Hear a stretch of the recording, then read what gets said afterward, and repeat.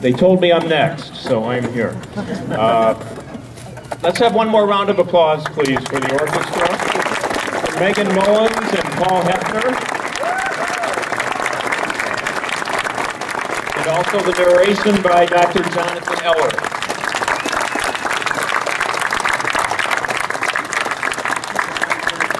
I'm going to let most of the other people, like Dr. Eller, do the talking tonight because they so, know so much more about Ray Bradbury than I do. I'm going to try and move this up.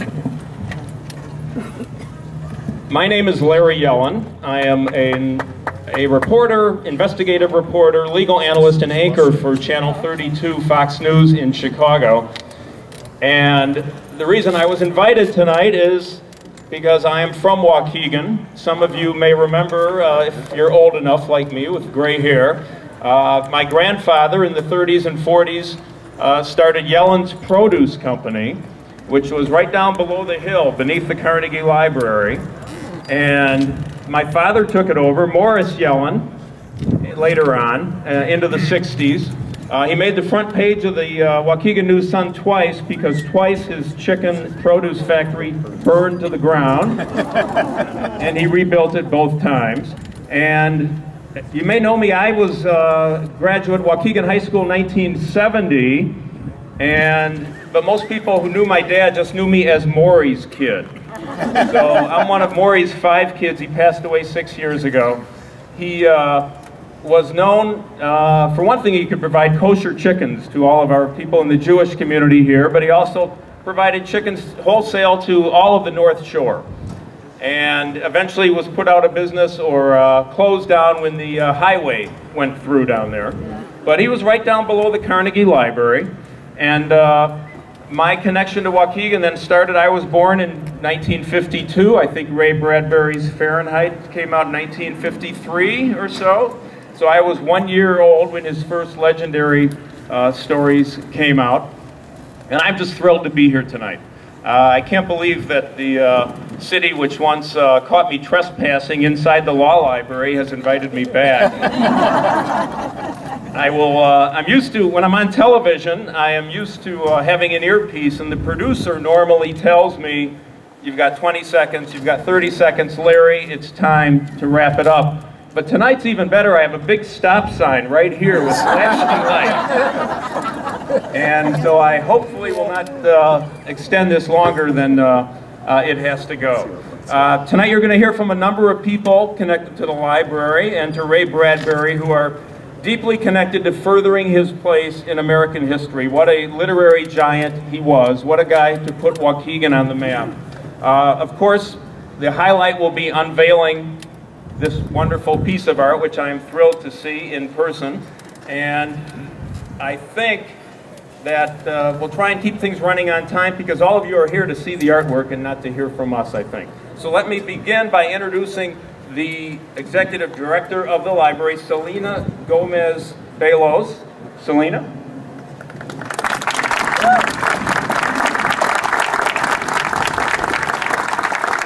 I was asking Selena to remind me when the library was built because I remember coming here when it was brand new. Uh, she said she thinks 1965, which means I would have been 13, which means up until that point I went to the Carnegie Library, which I do have some memories of doing.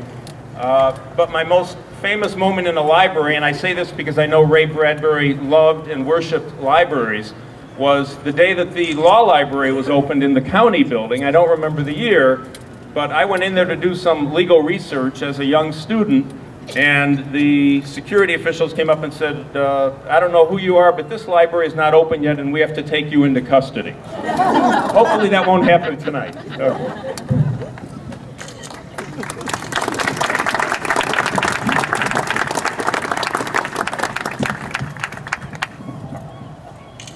Thank you. I'm a little shorter, sorry. Uh, good evening. I thank you all for being here this evening.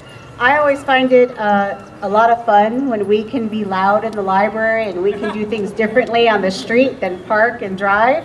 This is always very exciting to me.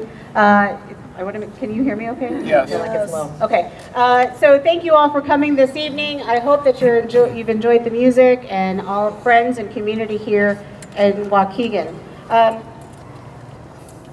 this is what we affectionately call Ray Bradbury's library. Uh, we are a few blocks from the Carnegie Library where he really did spend his childhood and, and reading in the library and, and, and just soaking up knowledge all the time. Um, what we do have is that this particular library, I'm told, is stood, stands on the ground where his elementary school once stood. So we do have quite the deep connection to Ray Bradbury here. Uh, Ray's love of libraries was very well known. He's really famous for insisting that he was educated in libraries because he lacked the resources to pursue a higher education. And so he read voraciously throughout his life in libraries. This is where he learned. And uh, in fact, throughout his, library, his life, not only was he a voracious reader, but he had been rented time on a typewriter. Do we all remember what a typewriter looks like? Uh, as he was an emerging writer, and we have one of his typewriters here at the library, so we invite you to come in and look at that uh, when we're open. In recognition of the importance Waukegan Library held for him, Bradbury left his personal library and his last typewriter to us upon his death in 2012. You can see highlights of Ray Bradbury's collection on our main floor whenever the library is open. Ray recognized the vital role that libraries played in communities where access to educational resources is limited, and he knew firsthand what it took to overcome barriers to success. Our mission here at the library is to impact lives through literacy speaks to this, this uh, uh, work that he did in his life. Through our innovative, award-winning service portfolio, we provide opportunity for community members of all ages to reach their goal through coming to the library. For some, that means finding a life-changing book. Others, like over eight, over 900 individual adults who learn to better manage their health care, and over 250 unique learners who increase their computer skills.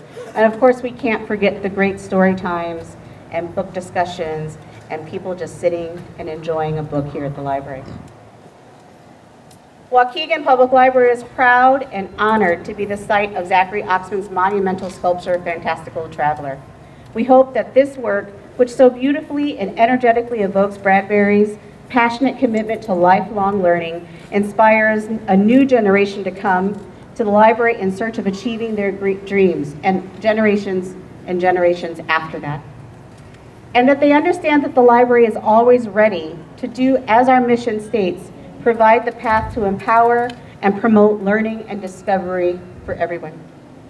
We'd like to extend our deepest thanks to the Ray Bradbury Statue Committee. They have worked tirelessly these last five years. And in particular, co-chairs Richard Lee and Lori Nierheim for their tireless work to make the sculpture a reality. And to the more than 200 donors whose without whose generous contributions the sculpture could not be here today.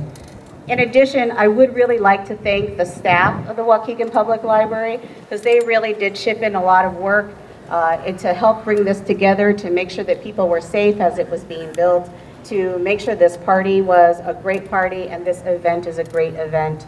Uh, and they really deserve a lot of thanks also. I am really impressed that this community has come together to do this.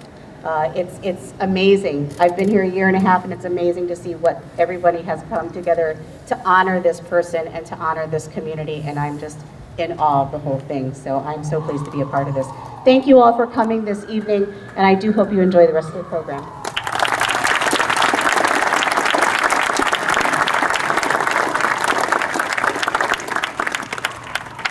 Our stop sign is still flashing.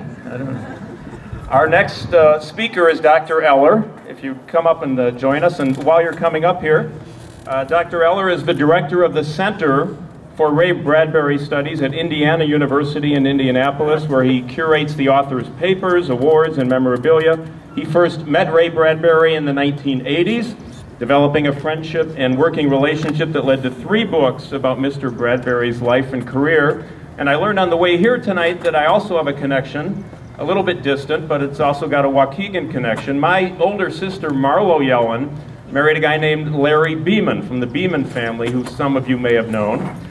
And I understand my sister reached out to me today and said, make sure and tell Dr. Eller that we're the ones who provided the, is it the Hope chest? Yes.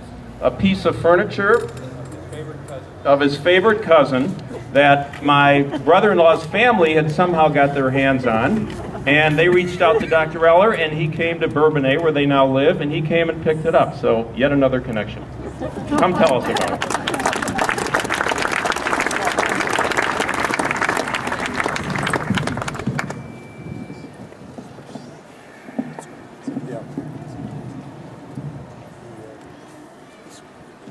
Pleasure and an honor to be with you tonight, uh, to be able to participate in the prelude with the symphony, but also to put a little context tonight to the events and to the wonderful people that will follow me very shortly in this event. In 1962, Ray Bradbury reflected on his Waukegan years and the ideas that began to form in his creative imagination.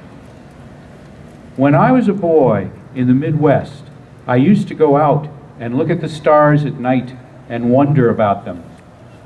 When I wasn't looking at the stars, I was running in my brand new tennis shoes on my way to swing in a tree, swim in a lake, or delve in the town library to read about dinosaurs or time machines.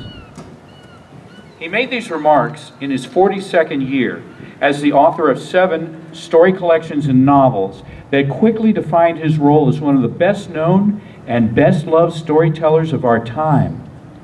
The edgy and emotionally powerful science fiction that shaped the Martian Chronicles and the Illustrated Man. The anti authoritarian brilliance of Fahrenheit 451, the dark fantasies and supernatural terrors of otherness found in the October country, the fantasies and magical realism that emerged from the golden apples of the sun the mixed terrors and joys of Waukegan childhood summers, vividly recalled in Dandelion Wine. And Something Wicked This Way Comes, another novel of the Waukegan days that presents his most sustained exploration of the uncertain boundaries between good and evil, life and death. During his 70 year career, Ray Bradbury would receive an Academy Award nomination for animated film two Emmys for television, the National Book Award for Lifetime Achievement, a Pulitzer Prize, and the National Medal of Arts. He was never able to attend college.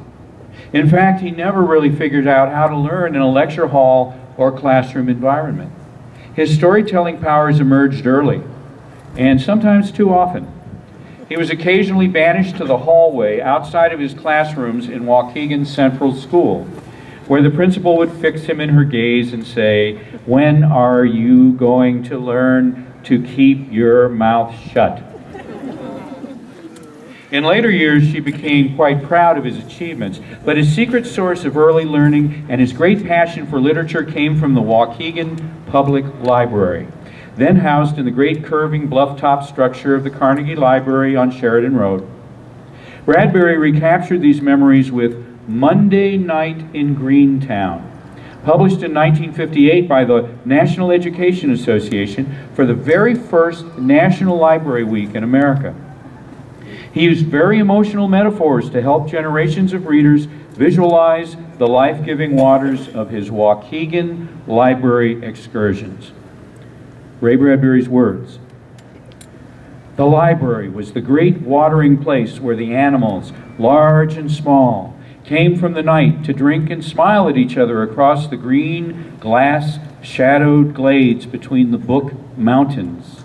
So here you were, gamboling on spring nights like lambs, lolling like warm trout in winey springs on summer nights, racing the curled mice leaves on autumn nights, always to the same Monday place, the same Monday building. You ran, you dawdled, you flew, but you got there.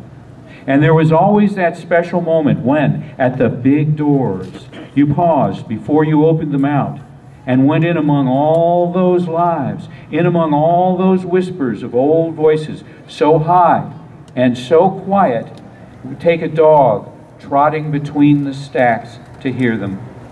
And trot you did.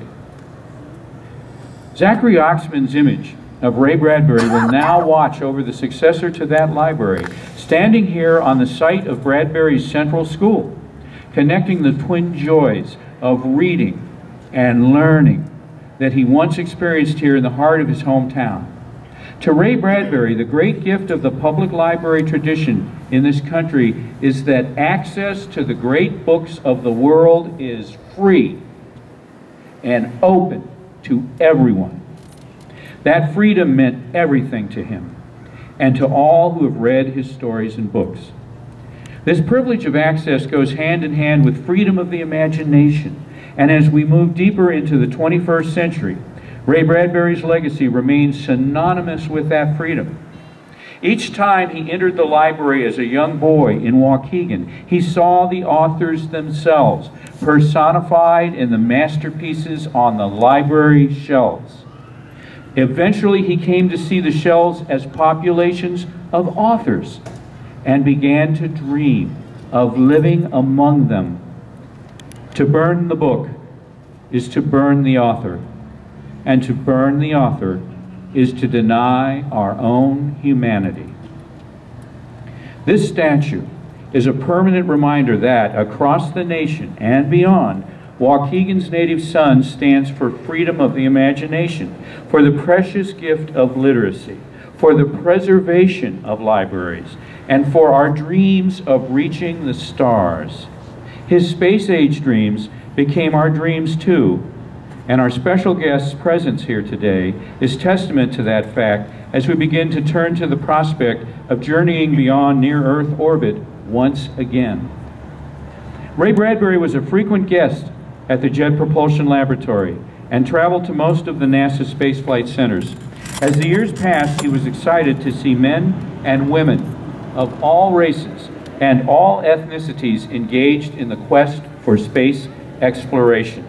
Ray Bradbury was an inspiration to the astronauts of the Mercury, Gemini, and Apollo missions, meeting and spending time with many of them. Bradbury was in JPL's mission control for Mariner 9's orbital insertion around Mars in 1971, for the Viking 1 Mars landing in 1976, and for many other deep space milestones. He spoke before the Presidential Space Commissions of Presidents Ronald Reagan and George W. Bush. The Phoenix lander in the high northern latitudes of Mars carries a digital copy of the Martian Chronicles. If only we had taller been, the Bradbury poem engraved beneath this statue reminds us of his most cherished belief.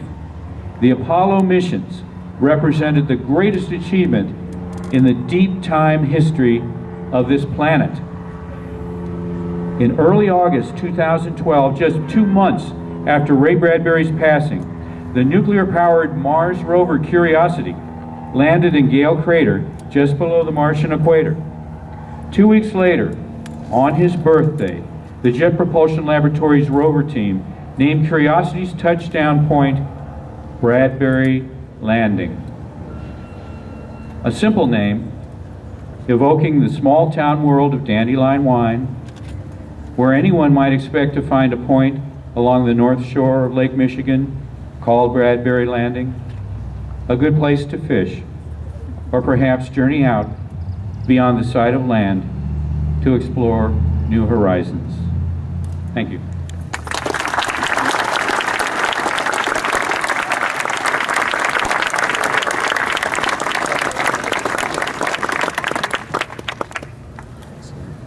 And who is our special guest tonight? He'd like to offer greetings to you. It's James A. Lovell Jr., retired United States Navy captain and former astronaut. He was a naval aviator of distinction. In preparation for the Apollo lunar missions, he crewed Gemini 7 in 1965 with Frank Borman, a long duration mission famously remembered by many of us as uh, the rendezvous with Gemini 6 as Mission 76. Gemini 12 in 1966 he commanded with Buzz Aldrin.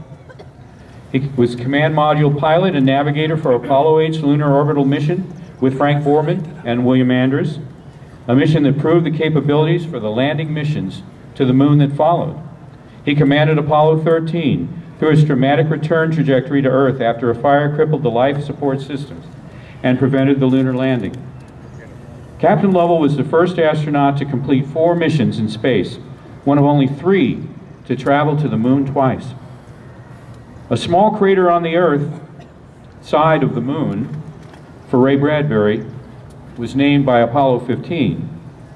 But another crater on the far side of the moon is named for Jim Lovell, facing out to the solar system that Ray Bradbury so earnestly wanted to explore. Ladies and gentlemen, greetings tonight from Captain Lovell.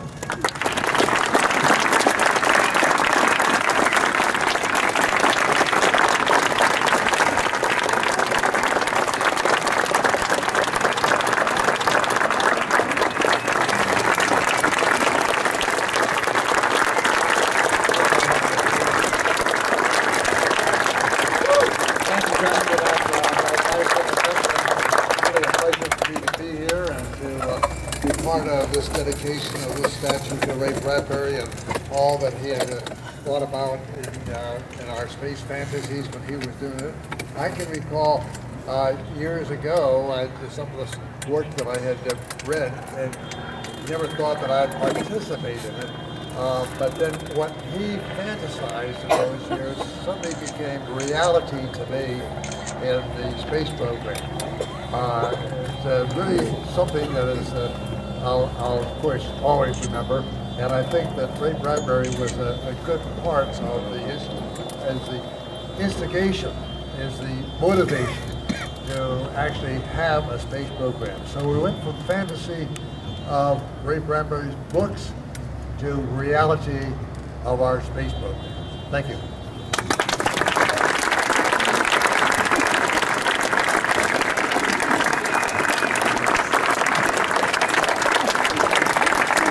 Let's have one more round of applause for Captain Lovell.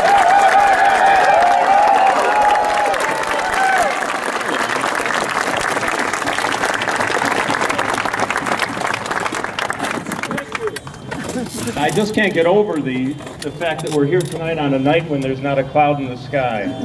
And in a few minutes, we'll be able to see the stars. It's just, it's like Bradbury planned it this way. Thank you very much.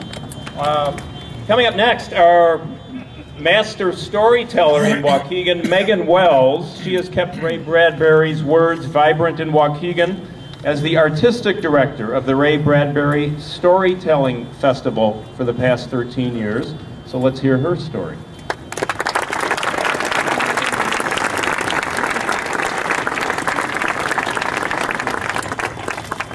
Yes. What a night. I grew up in Lindenhurst. Anybody here from Lindenhurst? So when my family said, let's go downtown, they didn't mean Chicago. They meant Waukegan. So I read books at that Carnegie Library. I, we could not take them home from the library here at Carnegie. It was too far to get them returned on time. What I'd like to do is tell you one of Ray Bradbury's story, a short story called The Gift. Tomorrow would be Christmas. And even while the three of them rode up to the rocket port, the mother and the father worried about their boy. This would be their first flight for him, his first flight into space, the very first time that he would ever be in a rocket ship, this rocket ship to Mars. They wanted everything to be perfect. So, when at the customs table they were forced to leave behind their son's Christmas gift and the little Christmas tree with the lovely white candles because they exceeded the weight limit by just a few ounces. They felt deprived of the season, deprived even of their love. They had left their boy waiting in the terminal, and so now his mother and father walked toward him. They whispered to each other, What shall we do? Nothing, nothing. There's nothing to be done. Rules, silly rules. I know. Oh, he really wanted the little Christmas tree. And then the siren sounds with a great alarm in the terminal, and all the passengers line up line up to board the rocket to Mars, up the gangplank, one by one, two by two, is touch sullen. Mother and father wait until the last of the line with their pale boy between them, and father leans to mother and says, I'll think of something. What? Says the boy. Something about what? What was there to say? They slipped into their sleeping pods, accepted chemical sleep, and the rocket took off, flung itself into deep space, leaving fire behind, leaving the earth behind, leaving earth time behind. They had left December 24th, 2052, but now there were no minutes, no hours, no days, no months, no years. So when the pods opened, it was only 11:30 on their New York watches. Father, groggy in his pod, wondered at something. What? At the edges of his brain. What? What? Was it a memory? No, no. Was it a dream? There's no dreaming in this chemical sleep. No, it was something that someone had said on the gangplank as they were coming up into the rocket. And he knew it and he had it and he looked at his watch and he turned to his boy and he said, Half hour till Christmas. Oh, said Mother, slightly dismayed. She had hoped he wouldn't mention it, that the boy just might forget all about it. No, no, said Father. It's almost Christmas. Is it? Is it? Can we put up the tree now? Can we put up the tree with the lovely white lights and my gift? Will I have my gift at midnight? Yes, said Father. That and more. I go see about it.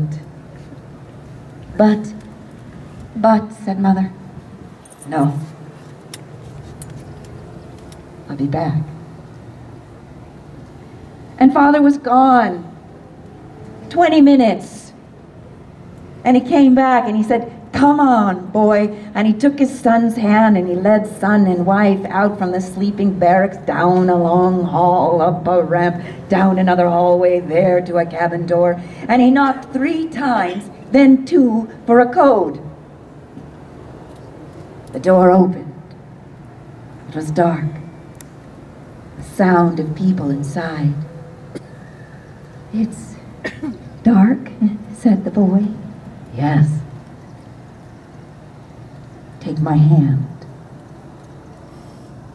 Father grabbed son's hand and mother on the other side. Come on, Mama. And in they went. And the door closed behind them, and they were plunged into darkness, but for one light, one light ahead of them in this cabin, this space, this room, like a great eye. The boy gasped. Mother and father gasped too. The father said, Merry Christmas, son. Did the boy hear him? Did he hear the officers singing behind them familiar Christmas carols? We wish you a Merry Christmas. We wish you a Merry Christmas. He just walked to that gleaming eye. A porthole, six feet wide, four feet high, a window out into deep space. He placed his face up against that cold glass. He looked for a long time, for a very long time out into the dark night, into that gift of stars, that burning, burning of a billion lovely white candles. The Gift by our Ray Bradbury.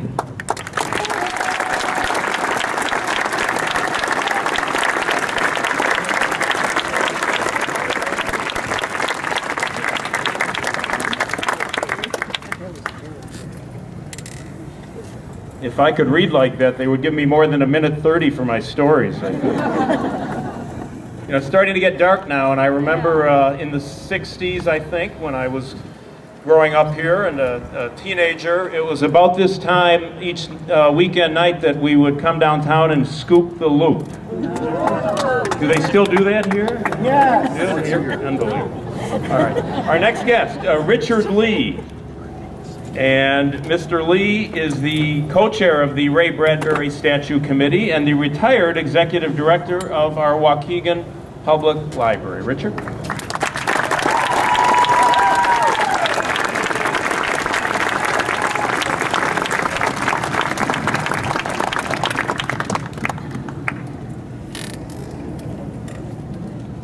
I know, another speaker.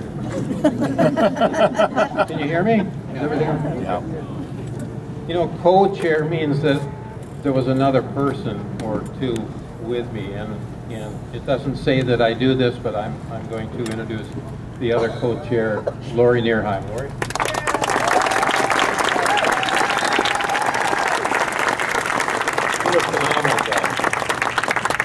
A little over five years ago, Hank Bogdala invited me to lunch at Louis, right here in Waukegan. She said he had an idea he wanted to talk over with me. A little bit ago, um, I talked to Mike Rodriguez, and he said, yeah, I got a call like that too. Anyways, to borrow a phrase from statute committee, Gary came, he said Hank was always full of good ideas. So I sat down with Hank and his wife Beverly, and Hank told me about his dream of seeing a statue of Ray Bradbury in downtown Waukegan. Not only that, he said, like the statue of Jack Benny just down the block, we need to form a committee to get it done. And I was just the person to chair it. I said, thanks. Hank had a great, I, he had a great deal of foresight and he understood the importance of Bradbury's legacy, as did everyone else on the Ray Bradbury Statue Committee. I'm so glad that his vision has come to fruition, and I know we all wish that he were here to see Zachary Oxman, Zachary Oxman's incredible work. When we formed the committee, bringing together community and arts leaders from all over Waukegan, we had two goals, to honor Ray and his legacy, as Hank intended, and to inspire Waukegan's youth to pursue, pursue their own captive creative ideas. We selected Waukegan Public Library as the site of the sculpture in recognition of the importance libraries held in Ray's life. A passionate supporter of libraries, Ray knew from experience that plenty of future writers and creators lurk between the stacks of public libraries reading, exploring, growing, just as he did at the old Carnegie Library on Sheridan Road. In 2015, we issued an RFQ that resulted in over 40 submissions from artists around the world. From there, the committee narrowed it down to three finalists. The finalists were invited to present a proposal for the sculpture to the committee. We used a numerical scoring system to make our selection, and the choice was unanimous. After seeing Zachary Oxman's incredible dynamic and whimsical portrayal of Ray, we were all blown away. Here was a sculptor who created a work that would not just commemorate the legacy, legacy of his subject, but transform the space around it. You will see the result of that transformation tonight. We would not be here without generous support of our donors. Over 250 donors from around the world contributed to this project. Yes, around the world. Many chose, many close to home here in Waukegan, some as far away as Russia. Thank you. Your support of this project represents not just a gift to honor Ray, but an investment in Waukegan's Arts District through this new major work of art. A project of this scale could not have been completed without the incredible support of the City of Waukegan, and in particular, the City Council, Office of the Mayor, the Building Department, Public Relations, and Public Works. I'd also like to acknowledge those contractors who so generously donated their services to this project. Stuckey Construction Company served as our general contractor, did all the concrete work. Dynacoil made the fantastic stainless steel cap you're going to see. Product architecture did what architects do. Mecco Steel Erectors uh, brought their crane in and an operator alongside, alongside Town Line Design and Jewel Electric Company who put in the final lights here and the rest of the landscaping and the hardscape. These companies worked tirelessly over the past two weeks, battling rain, on the installation of the sculpture. I would also like to thank Evelyn Larson Ford for sewing the unveiling cloth. Yeah. Somebody had to do it. On behalf of the committee, I'd also like to recognize the library staff members who have worked hard over the past five years to support the committee, including Amanda Civitello, Marketing and Communications Manager, Kim Vanderyant, Donor Relations Coordinator, Alicia Garcia, Development Manager, and Jennifer Herrick, Graphic Designer.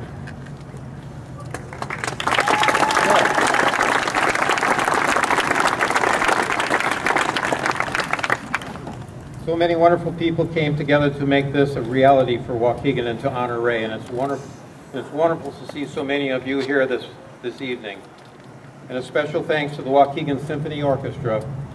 Their music will be the perfect accompaniment as we unveil the sculpture. At this time, I'd like to invite members of the Ray Bradbury Statue Committee to join me and Captain Lovell in unveiling this sculpture.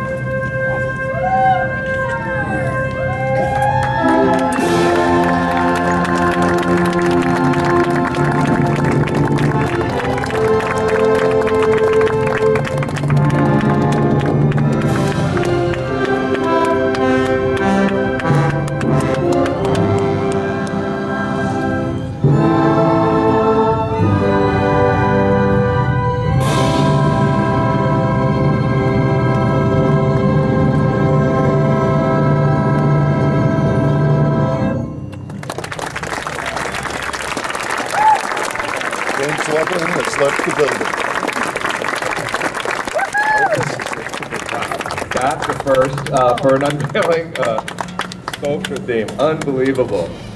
Oh, there there we go. Houston, we have a problem. Can we get that? Waukegan, we have a problem.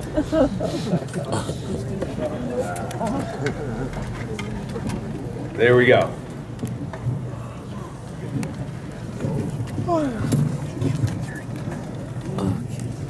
All right. Well, hello everyone, and thank you, thank you all so much. This has just been an incredible evening. That was that was a moment for me too. Um, that was uh, that was pretty fantastic. Um, So, hello everyone, and thank you, Waukegan, for coming out and and sharing this very special event together. I'm both honored and humbled for having the opportunity to create Fantastical Traveler for your town. I do also. I-